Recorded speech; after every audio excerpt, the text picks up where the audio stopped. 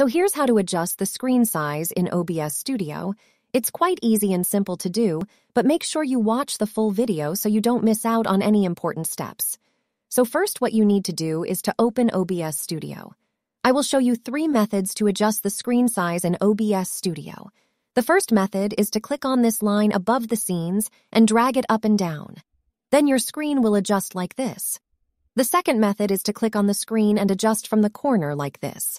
The recording screen will not change its aspect ratio. To change the aspect ratio of the recording screen, press Shift and then adjust the screen.